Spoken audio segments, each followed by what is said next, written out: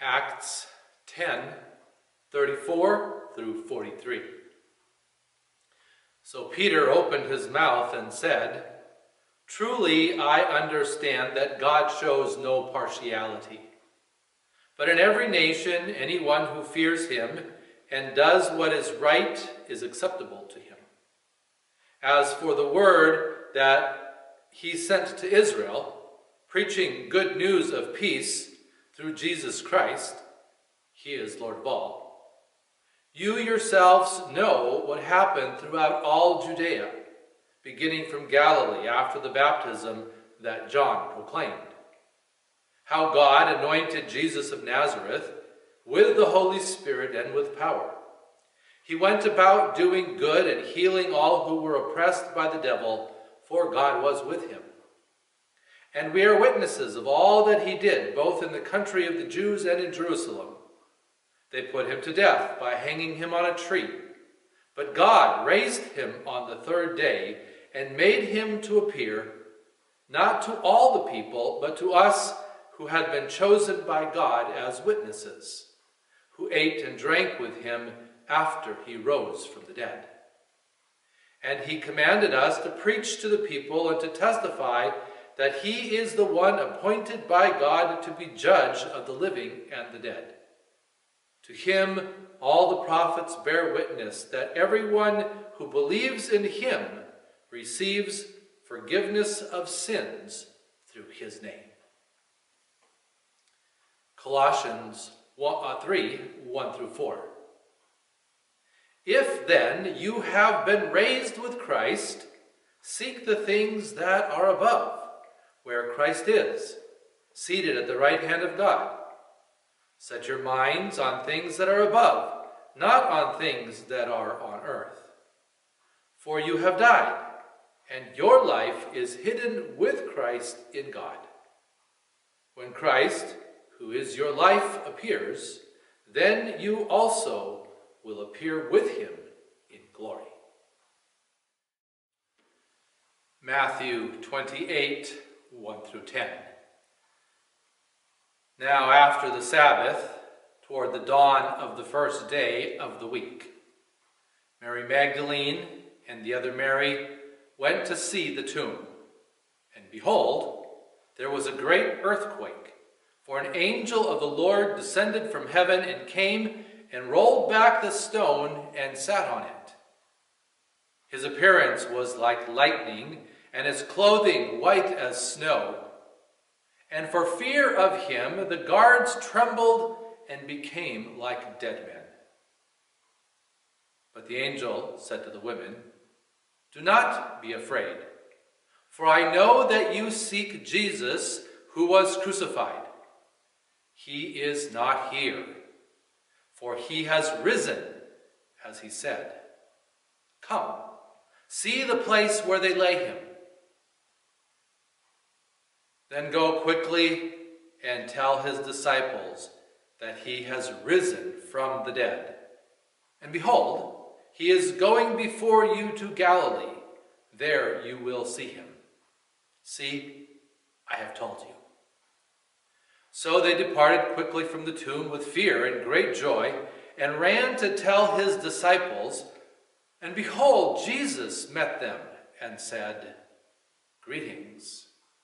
And they came up and took hold of his feet and worshipped him. Then Jesus said to them, Do not be afraid. Go and tell my brothers to go to Galilee, and there they will see me. The Gospel of the Lord. Let's pray. Gracious God in heaven, we thank you on this day when we celebrate the resurrection of Jesus for that resurrection, for the death that preceded it, in which Jesus took upon himself our death, our sin, in our place. We thank you that death could not hold him, and that by his resurrection he proved himself to be the Son of God to be worshiped. We pray now that as we meditate in your word, as we hear your word, that you will continue to give us the gift of faith, that we might put our full confidence in Jesus and what he has done for us. We pray this in his precious name. Amen. Christ is risen. He is risen indeed. I don't know. Is it an odd question to ask on Easter morning? Of what are we? Of what are you? Of what am I afraid? As we read through the text, the account of the resurrection that Matthew recorded for us, we see fear throughout the text. Four times, actually, but we're going to look at three of those. And as we look at how fear is in and throughout the story, ask ourselves of what are we afraid? And of what do we not need to be afraid? So let's walk our way through the text and see, first of all, the fear of those who guarded the tomb. We're reminded that towards the dawn of the first day of the week, Sunday, we're gathered here today, Sunday, or we gather wherever the church gathers, most of us, the great majority of us, on Sunday not only on Easter Sunday, but on each Sunday, in memory of, in celebration of the resurrection. So let's just back up a little bit and see how it is that we get to dawn on the first day of the week. On the previous Thursday night, Jesus met with his disciples to celebrate the Passover. And in that meeting, in that meal, Jesus revealed to his disciples the true meaning of the Passover. As he took from the pieces of the meal, the bread, broke it and gave it to them, this is my body. As he took from the meal, probably the cup that is called the cup of redemption, gave it to them and said, This is my blood of the new covenant, told them to eat and to drink, and to do that whenever they did it in memory of him. That was Thursday. That night, he was arrested. He was tried. He was taken before the Roman authorities who we are told in Scripture were the only ones who had authority to carry out a sentence of death against a criminal. The Roman governor could find no reason to crucify him or to put him to death as the Jews demanded, as the religious leaders demanded. But he was afraid afraid of a riot, afraid of an uprising. He didn't want to have to call the Roman army soldiers to task to put down a revolt, and so he conceded. And the sentence of death was that Jesus was king of the Jews. Presumably, then, as king of the Jews, one who was rising up to overthrow the Roman government, and I suppose in some way gave legitimacy to Pilate to carry out what was done. That was Friday. Saturday was the Sabbath. The last day, the seventh day of the week. And as we look back on this great event, this event that stands at the crossroads of history and changes everything, we recognize that the work that Jesus did on the cross was finished there, and that on the Sabbath he rested just as God rested on the seventh day of creation. And so now then we find ourselves at dawn on the first day of the week. And we are told that the women, these are followers of Jesus, uh, two of them are named by Matthew, Mary Magdalene and the other Mary. The other gospel writers tell us that there were other women as well who went out to the tomb. The other gospel writers indicate to us that the burial on Friday had been a hasty burial. Sunset was approaching and the Sabbath was beginning when no work was to be done. And so Jesus' body, though it was wrapped in cloths and put in a tomb, was not properly anointed for burial. And the women were going out then on the first day of the week when the Sabbath had finished in order to accomplish, in order to do that task for the man they loved. But when they got there, they recognized that things had changed. Now, whether or not they felt the earthquake, we don't know. We're not told. We're simply told that there was an earthquake and that the earthquake was caused by the descending of an angel of the Lord who rolled the stone away from the tomb and who sat on the stone. And here is where we then find our first fear. That those who had been appointed to guard the tomb and the reason there was a guard set on the tomb is because the religious leaders had heard that Jesus said he would rise from the dead and believed, or at least said they believed, that Jesus' followers would come, steal the body away in order to proclaim a resurrection.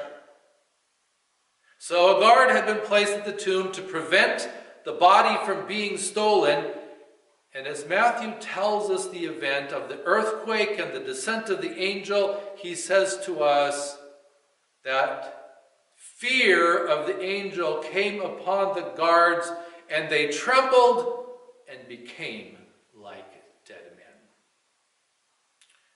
What were they afraid of? Well, certainly, I suppose I would shiver a little bit, my knees might shake, and maybe even more than that, I might become like a dead man if an angel of the Lord suddenly appeared with an earthquake.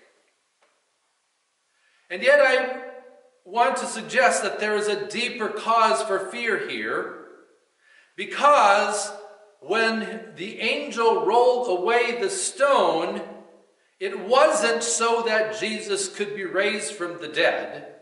When the angel rolled away the stone, it was to reveal that the grave was already empty. And for the unbeliever, that ought to cause a great deal of fear. The, the guards knew that there was a man who died. The guards knew that there was a man who was placed in that tomb, whose body was placed in that tomb. The guards knew that no one had come in the night to roll the stone away, and yet now, with the earthquake and the appearing of this angel and the rolling of the stone away, it is revealed that the tomb is empty.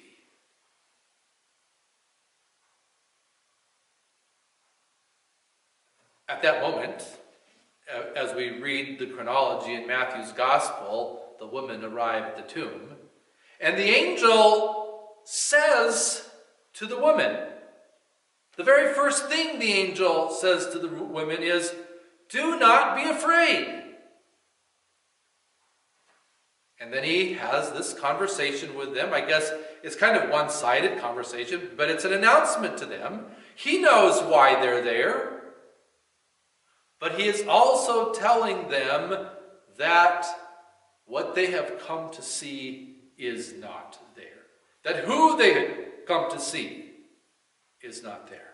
But it begins, the conversation or the, the declaration begins to them with, Do not be afraid. The fact that Jesus is raised from the dead is not a cause for fear. Yes, it was a cause for fear for those who guarded because they were living outside of faith. And, and I, w- I would hope and believe that some of those eventually came to faith based on what they saw and based on the witness of Jesus' disciples who also saw. But Jesus is saying to the women, you don't need to, or the angel is saying to the women, you don't need to be afraid of the emptiness of the tomb. Yes, Jesus died. Yes, Jesus was buried, but he has been raised from the dead. I know that you seek Jesus who was crucified. He is not here, for he has risen, as he said. Come, see the place where he lay. And so to the women, he is saying they have no cause for fear. And I would suggest that those words can be spoken to us as well, that the empty tomb actually frees us from fear. From fear of sin, from fear of eternal death, from fear of death itself, unless Jesus should return within our lifetimes, we are all going to die. But we need not be afraid of death because if we are in Jesus, then we are alive. And as we read in our Colossians text, if we are in Christ, then we will also be in glory with Christ. That death has no hold on those who believe, that death has no hold on those who are in Christ, and we do not need to be afraid. And then, in order to emphasize for us this wonderful truth, as the women are going back into Jerusalem, I guess, They're, they, they haven't gone back to Galilee yet, although the angel did tell them, you guys all need to go up to Galilee, and Jesus will meet you there. Although we find out, and you know, he does, Jesus does do that, but Jesus does meet them. Behold, it says that as the women were going to find the disciples, to let them know of the things that they had discovered at the tomb, that Jesus appeared to them. And that Jesus' word, first word to them was simply greetings. Greetings. He approached them not with scolding, but as a friend. And as one who would enter into and be in fellowship with them. And when they saw Jesus, as Matthew tells us the account, they came up and took hold of his feet and worshiped They recognized in the resurrected Jesus more than a man. And we do we really don't have that sense until after the resurrection of Jesus being worshiped by his disciples. But now we have for the first time a complete recognition of what all of this means that there can be no one greater than God to be raised from the dead. And if he is indeed raised from the dead and they are seeing his risen body, then their conclusion is that he is to be worshiped. And then again, we have the word fear. Well, they in fear and trembling, and in joy, we're going away. But then we, we come back to what Jesus said to them at the end of our gospel this morning. Then Jesus said to them, Do not be afraid. Go and tell my brothers to go to Galilee, and there they will see me. Do not be afraid. I wonder if in our society today we've kind of lost the fear. Fear what? Well, we might be afraid that we'll lose our jobs, or we might be afraid of getting sick, or but, but I, I wonder, are we are we wrestling? Do we wrestle as a society with what we ought to really be afraid of? And are we willing to really hear the words of both the angel and more importantly of Jesus? Because the angel is a messenger of what Jesus says to us. That we need not fear death, that we not need fear an eternal separation from God when we believe in Jesus. When we come up to Him, and I suppose for us it's metaphorical, and take hold of His feet, but in reality worship Him because He is God come to us. Because He is God taking, who took on human flesh so that human flesh could die human sin, for human sin and so that we could be forgiven. We can hear the words of the angel, and more importantly, we can hear the words of Christ. The words of the angel because they are given to him the message from God to us. The words of Christ himself, whom we worship today. That as we put our faith in him, our sins are forgiven. That as we put our faith in Him, we are brought into fellowship with Him. We are reconciled to Him. He greets us with greetings. That as we put our faith in Him, we will see Him in eternity. Gracious God in heaven, we give you thanks for this day again when we celebrate the resurrection of Jesus. And really, we are giving you thanks for that resurrection, for the death that preceded it, for the forgiveness of sins that was won for us on the cross, and for the victory over sin and death that is proven by the resurrection. So again, we pray for faith, that we would put our trust in what Jesus did for us, for the forgiveness of our sins, for reconciliation, and for the promise of glory eternal. We ask in Jesus' name.